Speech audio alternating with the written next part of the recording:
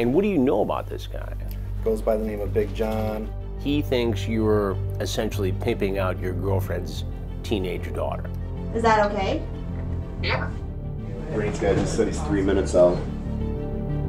That this is some special stepdaddy daughter time of some sort. Yes. Pretty sick. No, no, no. I need you to. No, you have to stay. Sit. Ah, I'm going through a hot but we'll explain it, John. Oh, fuck.